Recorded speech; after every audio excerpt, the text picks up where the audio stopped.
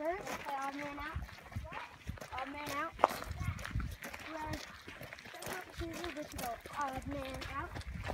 And you have two or one. Whoever has the most twos, just you attack the one.